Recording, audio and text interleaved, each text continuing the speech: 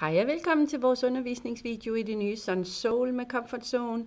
Det er til dig, som allerede kender Sun Soul eller Water Soul, savner dem, og nu vil se, hvad der sker, hvor de skal slås sammen, eller du øh, søger et øh, nyt og rigtig godt solmærke til din øh, salon, og du er professionel, og øh, du behøver ikke være hudbehandler, det øh, skulle gerne være muligt for alle at sælge en god solcreme, men i hvert fald her er undervisningsvideoen af den nylancerede Sunsoul-linje, så du kan lære det hele step by step. Vi skal heldigvis ikke kigge på mig, selvom jeg har taget lidt produkter med her i baggrunden, og du kan også se dem på hylden bag mig. Du kan se, at der er stadigvæk en flot, klar øh, gul-orange linje, og så er der nogle flotte blå produkter hernede, og det er til eftersol. Og øhm, skal vi ikke bare komme i gang? Og så får jeg lige skiftet over til en, øh, en præsentation her, hvor du kan, kan få hele historien. Så lad os springe ud i det. Jeg skal bare lige have kontrol over, at jeg kan skifte slides. Så det er altså det, der skal ske. Sun Soul er den nye eneste sollinje hos Comfort Zone. Den er blevet endnu renere, endnu mere bæredygtig. Og ren er normalt ikke noget, jeg sådan lige kaster op mig med, øh, når jeg skal bruge et superlativ om en hudplejeserie, men det må man gerne om komfortzonen. Og jeg vender tilbage til det lige om lidt, hvorfor. Lad os se på sagerne. Det er fem år siden, at Comfort Zone lancerede deres Sun Soul i den version, du lige har sagt farvel til. Og øh, det var jo en stor succes, men det bevæger sig rigtig hurtigt øh, i industrien, når det kommer til, hvad er en god solcreme, hvad kan folk lide, hvad må der være i, hvad er bekymringerne ude omkring. Og der så man allerede jo for halvanden to år siden, da Watersol blev introduceret, at der var behov for at dække den forbruger og den bekymring, der hed øh, koralrev. Så øh, der, hvor der blev sagt, skal der absolut være duft i? Kan vi få noget, der er ekstra vandfast? Kan vi, øh, vandfast må man ikke sige, vandafvisende? Kan vi få noget, som øh, øh, kan bruges til hele familien, praktisk alt i et og så videre? Og så kom Water Soul, og det er her stadigvæk. Water Soul har sådan set ikke ændret sig. Det er bare nemmere for alle at overskue, at vi smelter det sammen til en serie. Og så vil noget af linjen være med valgmulighed for duft til den, der skal slange sig ved poolen. Og så vil der også være stadigvæk de duftfri valg til dem, der skal ud og bade i havet. Så øh, hvorfor omformulere og relancere? Jamen lige præcis den her stigende bekymring for miljøet er der absolut et super godt argument. Vi ser, at vores øh, øh, i, i store, øh, vigtige koralrev rundt omkring i verden, de øh, blegner, altså dør. Det er egentlig den mikroorganisme, de lever af, der bliver nedbrudt eller kvalt af forskellige kemiske øh, øh, belastninger, eller, øh, og, og oven i det er også den stigende temperatur i havene, fordi det er de også super sensitive overfor.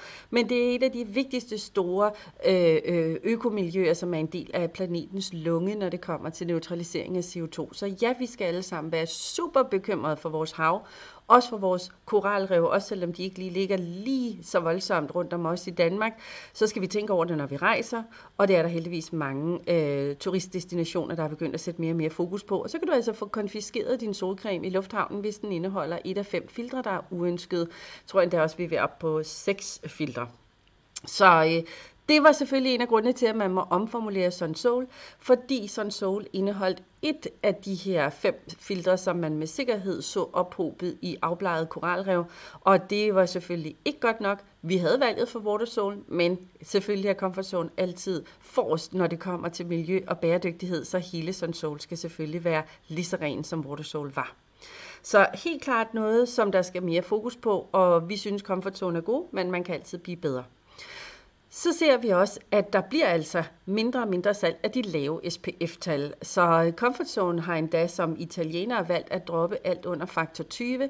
De har haft noget sololie, der lå på en 6-8 stykker. De har haft 15 til ansigt og krop, men det er der ikke efterspørgsel på, for der skal være en stigende sikkerhed, når man alligevel nu smører sig.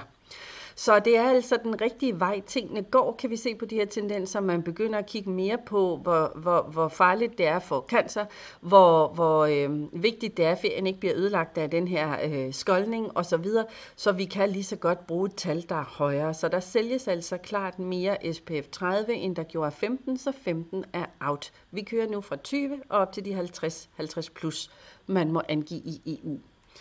Hvad skal der så ellers ske i serien? Ja, selvfølgelig første bekymring vil altid være at forebygge hudkræft. Og vi ved, at skoldningerne især i, i, i barne- og teenageår er dem, der næsten med sikkerhed fører til en eller anden udgave af hudkræft senere i livet. Det kan også være ganske tidlig øh, opståen af modermærkekræft, som er så farlig. Og de linkes altså stadigvæk i 98 procent af tilfældene til skoldninger. Jo flere, jo værre, især jo tidligere i livet de er sket. Prioritering nummer to skal selvfølgelig være at forhindre solskoldningen, for solskoldningen leder til kræft, men også sådan helt øh, lavpraktisk, så ødelægger det bare ferien, at man bliver skoldet på dag et eller to, og så går der jo altså en uge før, man kan begynde at ligge på ryggen igen, eller hvor det nu er sket. Så det er bare så irriterende, når et eller andet øh, blegt nordisk væsen prøver at komme på en lækker, lækker solferie, og har fortjent det, og skal sandelig have lov at nyde det, og så opnår man desværre den her akutte skoldning, fordi huden er utrænet og slet ikke klar til eksponeringen. Så er der altså også stadigvæk anti-age med i top 3, så der vil blive fokus på anti-age-ingredienser her i Sun Soul, for der er stadigvæk også kan, hvad med mig, hvad med min pleje? Er solcreme, nu ikke bare en, en, en død tingest, skal der ikke også være fokus på, at, øh, at, at det er lidt lækkert, og må det ikke også gerne dufte, hvis det er det, der er mit, øh, mit ønske, osv.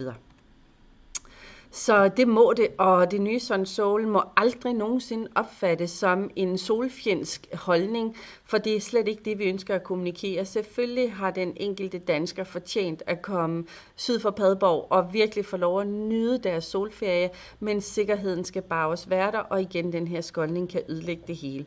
Så det her handler ikke om, at vi ikke må gå i sol, det handler om, at vi gerne vil være sikre i solen, at vi vil give de råd, der skal til, for at man er bedst muligt øh, øh, udstyret med viden, når man tager afsted. Og det er altså det, I skal give videre til jeres kunder, når I sælger solcreme. Det må ikke blive sådan en, øh, skal jeg virkelig, jeg hader det. Jamen, det er vi jo nødt til. Der er, ikke noget, der er ikke noget at gøre. Vi er nødt til at være venner med vores solcreme, også selvom den altid er en lille smule negativ for huden. Og det er bare altid, åh, men, men, men alternativet er bare værre. Så øh, du får en bred serie her, hvor du selv kan sammensætte det sortiment, der passer bedst til din klinik, og du har hele tiden en valgmulighed for, skal det være med eller uden duft, når det kommer til SPF'erne og Aftersun. Så det skal vi selvfølgelig gennemgå, men husk selvfølgelig skal vi have lov til at nyde solen og gå i solen, men sikkerheden må bare komme først. Sikkerhed for huden og skånsomhed for vandmiljøet, fordi vi alle sammen har lært, det handler ikke kun om ene lille os, vi har vores ansvaret for os selv, men vi har også ansvaret for vores miljø, eller også alt vi kender under 18 år, fordi de ikke måske har den viden, du har. Så i vores Sun er der selvfølgelig fuld fokus på huden. UVA og UVB er ikke bare øh, de her, vi altid har haft. De bliver stadigvæk bedre, de bliver stadigvæk optimeret. Der sker mere og mere, så det er rigtig spændende. Anti-aging skal vi have med, især i ansigtssolcremerne. Det må gerne være lækkert, det må også gerne være super plejende. Solcreme skal som sagt ikke være en straf Um, så er vi altså oppe at have op til 98% ingredienser, som er sikre eller vurderet sikre for vandmiljøer. Og det gælder jo altså også de lokale åer og Vesterhavet, um, men særligt der, hvor man har de her um, koralrev, øh, som er de her meget særlige, sarte biomiljøer, jamen, der skal vi vide, at vi er på den sikre side, hvis vi skal ud og snorkle med en masse bare hud direkte i havet. Hele Sun Soul er nu Reef Safe, eller Ocean Safe, eller hvad du nu vælger at kalde den, og har fået stemplet Conscious to Skin and Ocean. For vi skal jo ikke gå på øh, kompromis med nogle af delene, og hvad ligger der bag det her stempel, de har valgt at give hele deres nye serie. Vi kan regne med lystabile, organiske, ikke-nanobaserede UV-filtre. Jeg kommer meget mere tilbage til, hvad er et organisk, og hvorfor ikke nano, osv. Vi har vores unikke peptid i, som vi kalder DNA Defense Peptide, som kan give en yderligere beskyttelse for ikke at nedbryde hudens barriere, ikke skabe inflammation, og deraf heller ikke tidlig ældning. Alle tre ting er lige kedelige. Så skal der være valgmuligheden både for at få noget water resistant og very water resistant. Det ene giver dig 40 minutters neddybet tilstand, altså badning, svømning, snorkling. Uh, very water resistant sikrer dig 80 minutter med mindre, der er froteret kraftigt imellem. Det kræver lufttørring, hvis du ikke er nede hele tiden, men kommer i og op. De havvenlige UV-filtre ligger altså over i de her lystabile organiske filtre med en stor respekt for miljøet. Og så skal vi tale om noget mega nyt og spændende. En stor innovation, som er mikrocellulose udvundet af græn. Fordi Comfort Zones nye manifest er at fjerne alle akrylater samt PEG. PEG er emulgator, dem er der flere hundrede af, men de er altså noget, man begynder at se lidt negativt og skævt til som et unødvendigt tilsætningsstof en konsistensgiver osv. Akrylaterne var straks værre især fra den tidligere del af Sun Sol, fordi dine filtre, uanset om de er fysiske eller om de er kemiske, også kaldet uorganiske og organiske, så er de ikke vandfaste i sig selv. Skal de blive vandfaste, og sådan her har det været igennem hele historien for solcreme, vi har bare ikke talt om det, så skal filtret pakkes ind i en øh, ret kedelig form for flydende plastik, altså nylon, og blandt andet noget, der hedder keraton, som også langsomt da afvaskes i havet i løbet af de her 40 eller 80 minutter, og er altså flydende mikroplastik.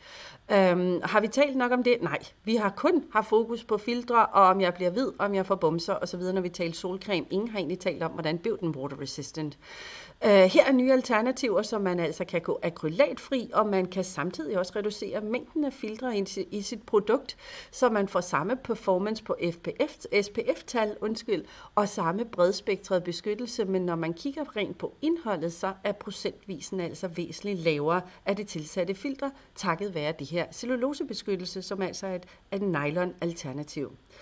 Og så vil vi gerne sige ren, når vi taler comfort zone, for det her er rent. Når man fjerner PEG og akrylater, så er man så langt fremme i industrien, at man må godt nok sige, at man giver de fleste andre baghjul. Silikonerne blev fjernet for mange år siden. Animalske udtræk har der jo aldrig rigtig været. Hvad skal vi hive ud af et dyr, der giver en fin hud? Nej, lad være med det. Det er bedre for alle at lade være. Mineralske olier, undskyld, det er selvfølgelig også et no-go i et professionelt øh, øh, hudplejemærke. Kunstig farvestof, og altså igen, de her PEG og akrylater er absolut noget, vi må betegne som ikke lovkrav, at de skal være der, ergo ikke nødvendigt at tilsætte i produktet, altså et unødvendigt tilsætnings- og fyldstof. Så kommer vi til det, der er så super kontroversielt, når man skal sælge noget i Danmark, og det er duftstoffer. Fordi må tingene, der ikke gerne have lov at dufte en lille smule, nu er vi jo ikke alle sammen intolerante over for parfumestoffer. Husk, uanset om det er essentielle olier, om det er altså noget andet naturligt duftstof, eller et syntetisk duftstof, så hedder det parfume. Parfume er alt, hvad der dufter godt. Og det har fået en rigtig negativ klang, og hvor er det dog ærgerligt. Vi har fem sanser, og duftsansen er en af de store. Og det er jo altså ikke duftstofferne, der giver allergien. Det er det defekte immunforsvar. Så lad nu være med at sætte dine produkter på, at de er parfumefri, medmindre du står med en konstateret allergiker, for så er det selvfølgelig fin logik. Ellers så synes jeg egentlig bare, at vi disser noget, som, som skal have lov at være der. Men, men den er stadigvæk kontroversiel, for stort set alle duftstoffer er svært nedbrydelige vandmiljøer, især rene essentielle, altså naturlige duftolier. De kan ikke rigtig, for de er fedtopløselige, de kan ikke rigtig nedbrydes i, i vandmiljøer, de virker altså forurenende. Så den del af sådan sol, der kommer til at dufte helt unikt fantastisk skønt her, har man fundet nogle bionedbrydelige og vandmiljøsikre duftstoffer at tilsætte. Der er ikke farligt mange, men dem der er, altså wow. Så selvom duft normalt ikke er min personlige første prioritering, så vil jeg frygtelig gerne have fingrene i det her, for jeg får lyst til at tage på ferie med det samme. Ingen kedelig undertone af solcremesduft. Bare lækker sommerfriskhed og lidt mosk. Emballagerne har Comfortzone jo været super dygtige til at sørge for at, at, at lave gode alternativer til, og sørge for, at tingene er fremstillet af genanvendeligt materiale og af genbrugsplast, og det er bionedbrydeligt, hvis det skulle havne det forkerte sted, og vi altså ikke lægger det korrekt, når vi ikke skal bruge det længere. Så vi må jo bare hylde dem for at stå ved den her evige, fuldstændig kompromilløse og utrættelige dedikation til bæredygtighed. Huden er stadigvæk vigtigst, det kommer vi aldrig til at glemme, men hvor er der dog alt for få brands, der sætter fokus på CO2-neutralisering og i det hele taget at se sig selv efter i sømne, om man kunne være en del af løsningen i stedet for en del af problemet. For hudpleje kunne jo fjernes, og vi kunne alle sammen overleve, men vi vil rigtig, frygtelig gerne have lov at beholde den, men så er vi altså også nødt til at kigge på verden omkring os. Så rent, ja, det er man. Og et B-Corporation certificeret firma er man også, jamen så bliver man for alvor overvåget set efter på sin arbejdsgange. Og husk, at man jo CO2-kompenserer øh, hele Comfort Zone herunder også sådan sol ved genplantning af skov i Etiopien under det projekt, der hedder Ethio Trees. Go check it out på YouTube. Vi skal med det nye Sun Soul være sikre på, at vi kan fange stort set alle forbrugere. Hende, der egentlig mener, man absolut ikke kan blive brun, hvis man har solcreme på, gider vi hende? Nej, men kommer hun rendende? Sikkert ikke. Vil hun diskutere? Måske. Og ellers så tage den derfra og sige, det er ikke min primære kunde. dem, jeg gerne vil plise og hjælpe, så de får sig en god ferie. Det må gerne være en solnyder. Det skal ikke være et tabu, at man har en evne til at blive brun, og man ikke er et blegfjes, og man egentlig synes, det er fantastisk, og man ikke er udsat for akut skoldning. Man skal ikke have en 50'er, en 20-30'er, SPF kunne være fin. Så en solnyder, der søger noget pleje, noget lækkerhed, noget luksus, noget duft, og også gerne vil have anti-age fokus. Ja, det får du med Sun Soul, det kan du vælge. Men den nye største og stigende forbrugergruppe er jo den, der siger, at jeg tænker miljøet først, jeg er ikke den vigtigste, og skal jeg have noget, så giv mig noget, der er multitasking, face, body, all in one, ikke noget duftstof og nemt at smøre ud, hurtigt absorberende, det skal være very water resistant, for jeg er vandsport, øh, øh, dyrker og elsker osv. Noget praktisk og simpelt til hele familien, ja, den valgmulighed får du også med Sun Soul. Og så skal der stadig være fokus på at have noget specifikt til børn. Det giver en tryghed, det giver også en mulighed for at se og overvåge, har jeg fået den rigtige mængde med til junior, når vi nu skal være afsted så så mange dage, og hvor meget skal der cirka bruges. De har en sejtere hud, de skal have en ekstra høj SPF, og så skal det være hurtigt absorberende, nemt at bruge. Det behøver måske ikke være very water resistant, men water resistant skal det være, selvom vi er jo lidt bedre til at tage os af børnene end af os selv så skal det være simpelt. Der er jo ikke nogen grund til at kaste en masse anti-age ingredienser i et børneprodukt. Så der kommer altså her 11 helt nye multifunktionelle produkter til ansigt og krop, der er noget til før sol, så vi kan skippe det der kraftrisikable øh, forbrugning i solarie. Det skal man aldrig våge sig ud i. Det er fuldstændig fjollet. Det er bare penge ind på cancerkontoen. Men vi vil gerne aktivere melanocyterne, før vi tager på den der akutte Thailandsferie, som en dansk hud ikke nødvendigvis, eller en lyser hudtype, mener jeg selvfølgelig, ikke lige er givet til. Der skal være valgmuligheder i sol, både øh, for noget til ansigt og krop, og der skal være rigtig god strategi for, hvad gør vi efter sol, så vi både bevarer den her tan, eller får behandlet den her lidt uheldige rødme, der kan være opstået. Så det er da en absolut komplet serie af forberedelse, beskyttelse og genopbygning af huden. Vi skyller lige halsen.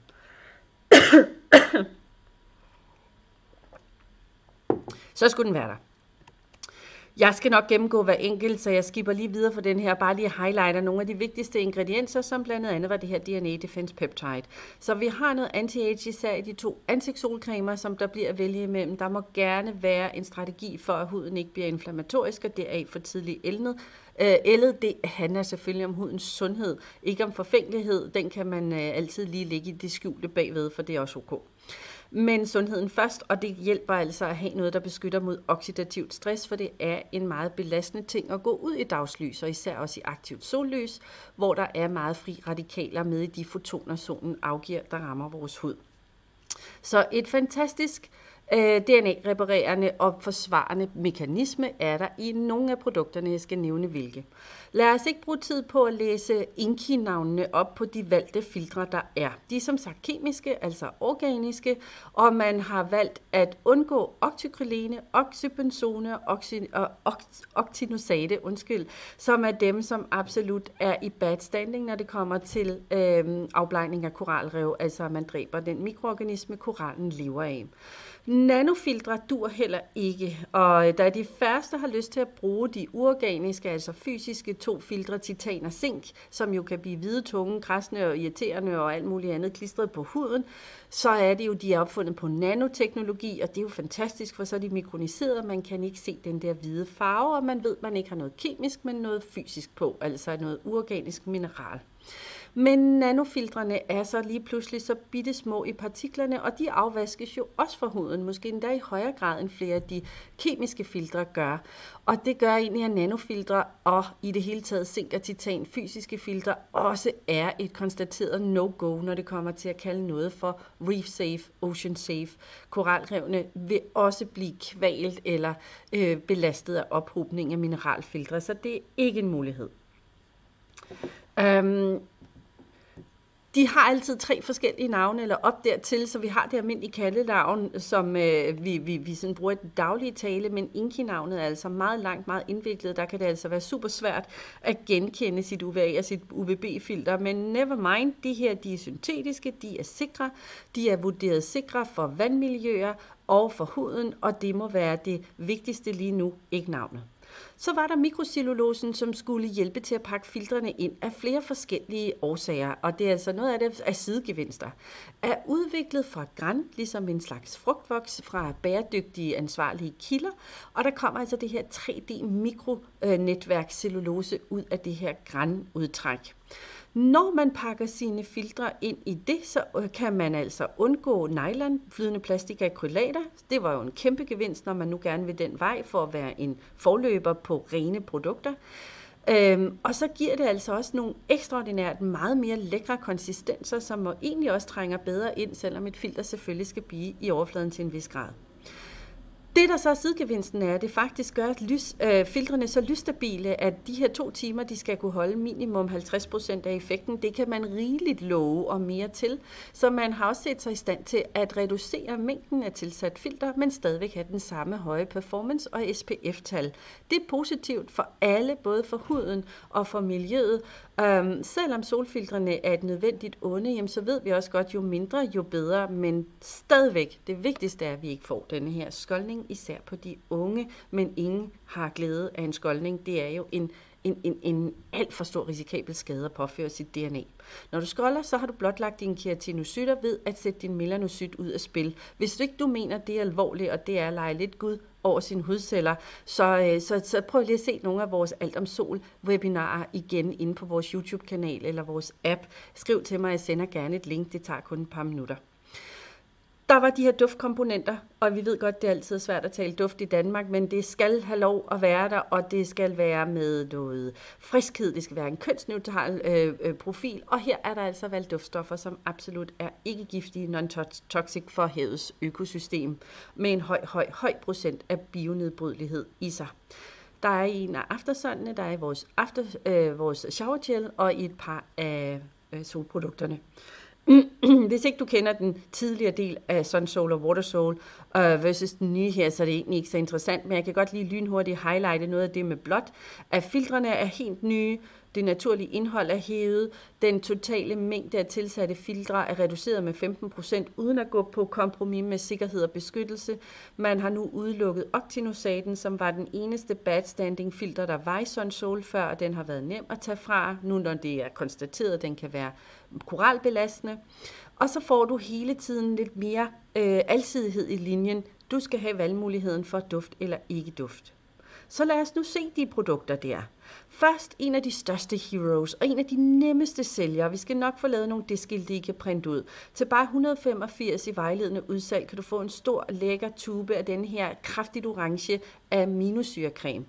Den er orange med det naturlige tyrosin, som også indgår i hudens melanin, og det er altså vores tan maximizer, som kan hjælpe til at forberede melanocyterne på, at de snart skal til at producere noget aktiv melanin, uden at det giver en hyperpigmentering eller en overflødig produktion, ligesom hormoner, stress og så videre kan gøre, når vi taler om melasma.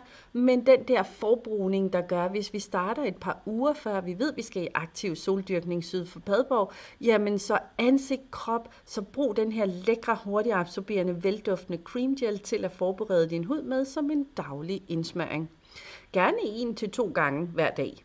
Øhm, så misker, et af de gode argumenter er, at det mindsker en risikoen for den der akutte soleksem. Ikke at man kan udvikle allergi over for sol, men man kan få den der akutte skoldning, vi har kaldt for soleksem i mange år det er, ikke så, det er egentlig ikke særlig videnskabeligt. Det havde egentlig bare handlet om at prøve at starte med en lidt højere faktor og lidt færre soltimer, og så lade huden vende sig til, at nu skal den i sol.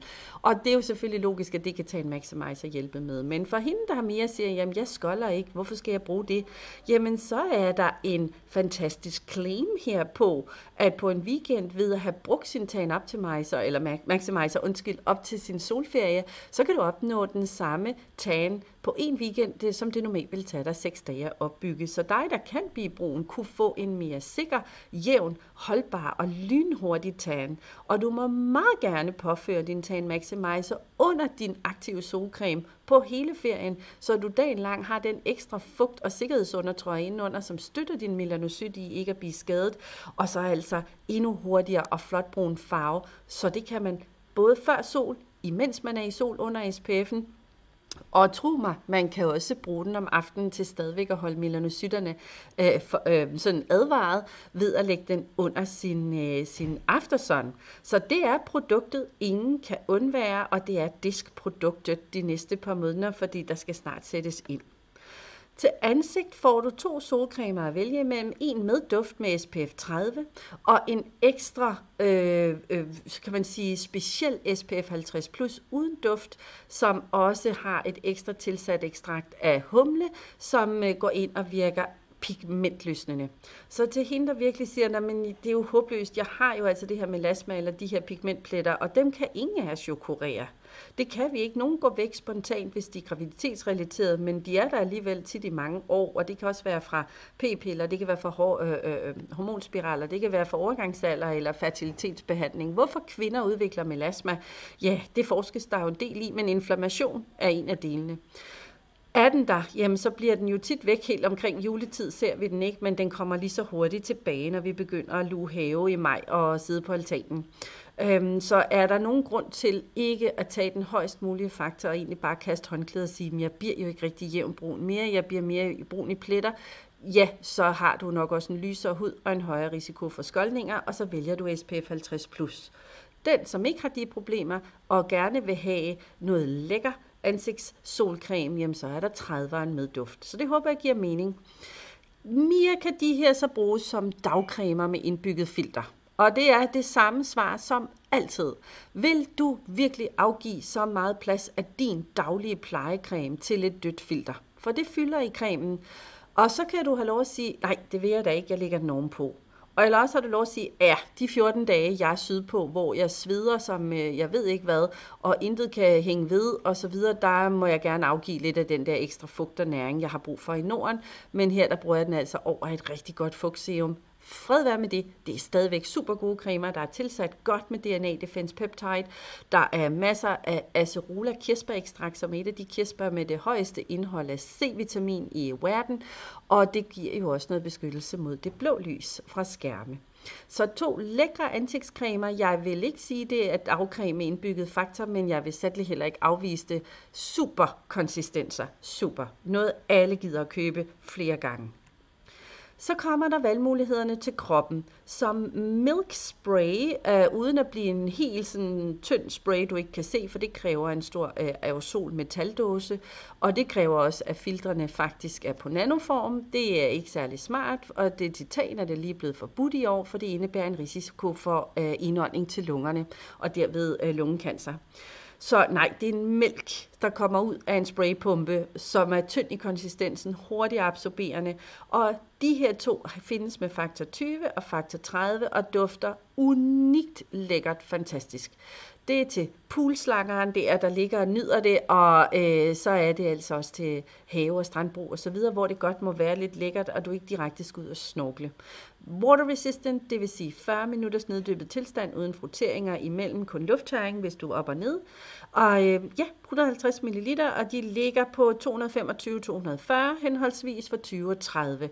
Lækre, hurtigt absorberende solcremer, alle gider, og som altså er lidt til sunloveren og beachloveren.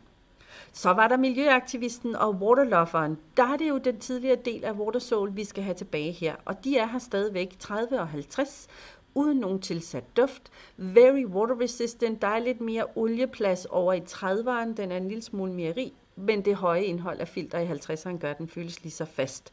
Det her er cremer, og de kommer på pumpeflasker, og det vil sige, at konsistensen giver noget mere, men det er det, der skal til, hvis man skal have noget very water resistant, og det vil du gerne, for det gør du for havmiljøet og korallernes skyld. Vil du putte den her på børn, Mia? Ja, selvfølgelig vil jeg det. Der er selvfølgelig det her øh, øh, uh, uh, DNA Defense Peptide igen og så videre. Er det lidt spild?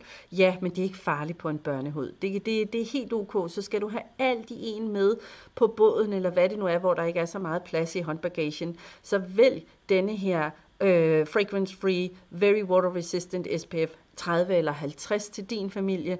Det kan du sagtens. Øhm, ting må også godt være lidt nemt det vigtigste er selvfølgelig, at vi får smurt. Så det var de to duftfrie valg til kroppen.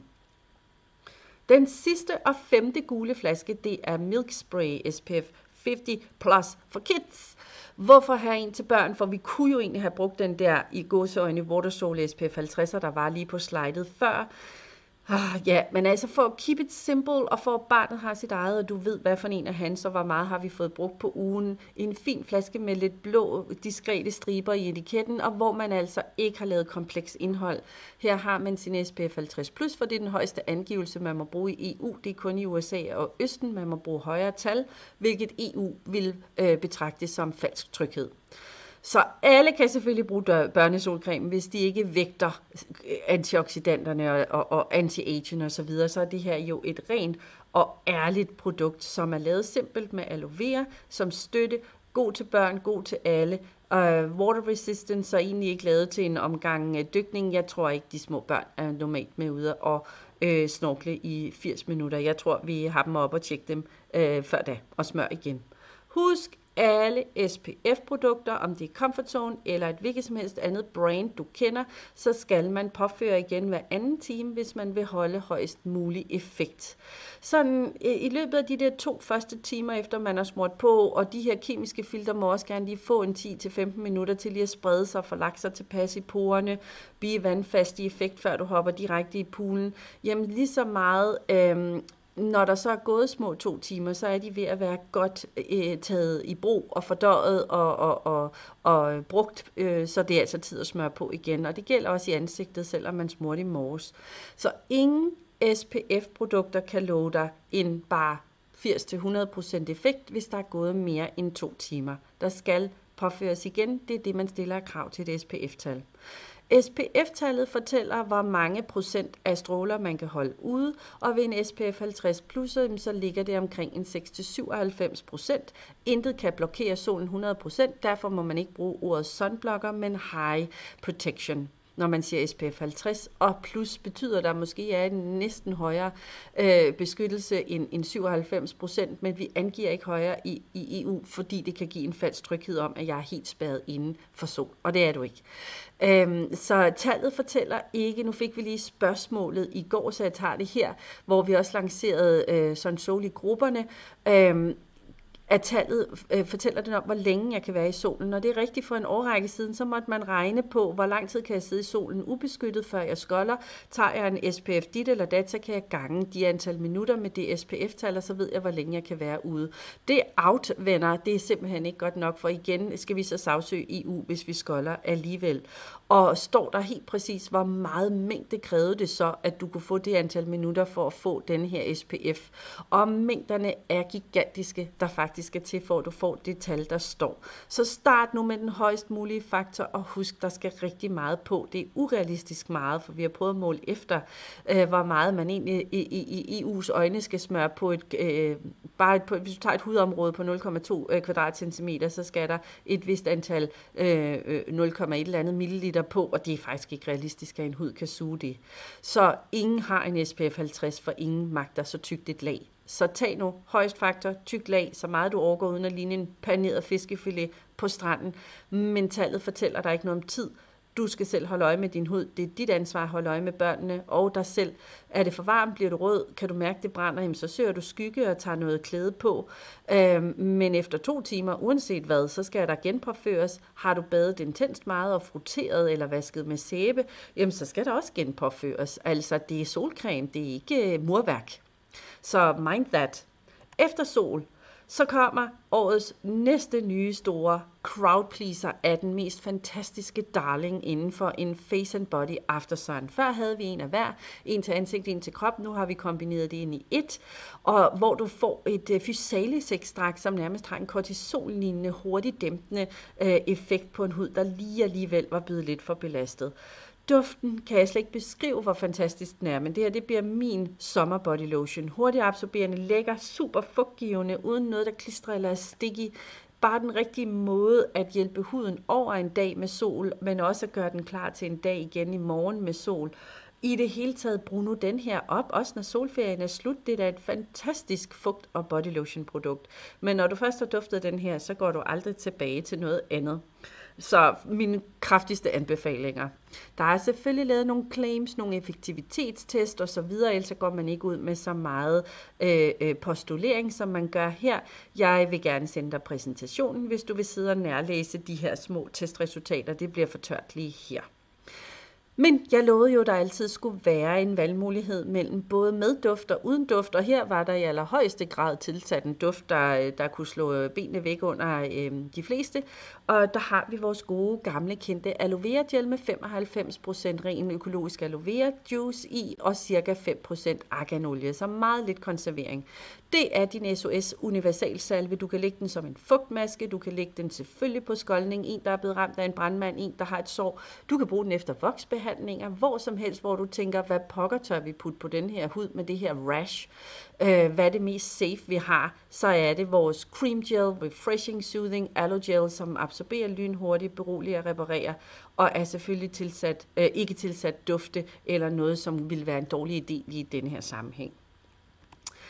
Du kan måske også huske Watersol 2-in-1 Shower Gel Hair and Body, og hvis ikke, så kan jeg fortælle dig, at den er den samme som før, bare i nyt tøj. Fantastisk duft, som er fuldstændig sikker for havmiljø, og hvorfor har man lavet den? Er den nu bedre til at fjerne solfilter fra kroppen? Egentlig ikke. Den er ikke bedre end andre shower gels på det, men den er bare meget ren. Så er du på langfart, bader du direkte i havet fra en båd, fordi du krydser et ocean eller er på den lange bådtur uden at lægge så meget til kaj, jamen så dur det jo ikke, at vi tager vores klassiske sulfatbaserede og overparfumerede shampoo med direkte ud i havet og vasker direkte af fra hår og krop, uden at det kommer igennem et vandrenseværk. Så brug den gerne hjemme i badet, det bliver kommunens vandværk også glad for. Men her lavede man altså et helt miljøsafe produkt, man kunne tage med, når man bader i havet, hvor man vasker hår og krop lavet på naturlige tensider af olivenolie øh, og så nogle andre surfaktanter, for eksempel af majs og andre planteingredienser. Og det var hele Sun Soul, altså den nye fusion af Sun Soul og Water Soul. Alt er her stadigvæk for Water Soul, de er bare lagt sammen. Så nu prøver vi lige at springe tilbage til at se, om jeg stadigvæk er i live. Um, for jeg vil da lige vise et par produkter. Øhm, ønsker du at forhandle Comfort Zone Sun Soul? Er du ICG-kunde i forvejen? Har du altså en konto hos Insight Cosmetics, hvor du køber negle eller hudprodukter, hvad det nu kan være, vores voks, så har du adgang til at købe Sun Soul. Du behøver sådan set ikke spørge om lov, du kan bare lægge det i kurven. Men vil du have et godt tilbud, så kig efter de to nye startspakker. Der er mulighed for at få 15%, hvis du selv skriver, hvilke 14 produkter vil du have, eller tager det eksempel, vi har lagt i tilbuddet. Ring til os. Ring nu til kundeservice, hvis du er i tvivl. Øh, og ellers så kan du kombinere selv, sammensætte en pakke af 18 produkter og få seks øh, fantastiske strandtasker med. Så længe lager haves, det er ikke forever. Lækre, kraftige genbrugsmateriale, strandtasker med en lille punkt til, super lækkert. Så ind i shoppen og se, om der stadigvæk er åbningstilbud, eller også selvfølgelig bare køb, så din øh, øh, øh Øh, kan man sige, omsætning, den ikke går glip af, at folk køber deres solcreme et andet sted, for hvorfor skulle de det? Du kan sagtens anbefale en solcreme, og her kan du sælge dem noget med den allerstørste ro i maven for et fantastisk produkt med en god præstation, og ja, de skal smøres ud med hænderne, og man må vaske det af bagefter, der generer. Den der helt usynlige spraydose ting, den er lykkelig, men den er ikke ret øh, drøg, og så det bliver ikke den vej, comfort zone lige går. Vi er nødt til at gå med det, som er ærligt, og det, der virker, og, øh, og både have øje for hud og miljø og penge på. Tak fordi du så med. Jeg ved, at du kommer til at elske det nye Sun Soul. Det er serien til dine hylder. Vi ses. Tak fordi du så med. Hej hej.